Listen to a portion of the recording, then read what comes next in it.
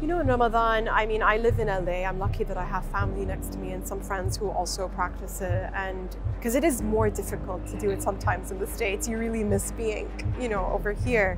Um, I guess I just try to take things more easy and slow down on work and try to spend more time with myself during that time. Hi everyone, I'm May Calamawy. Please watch me on Top Motion.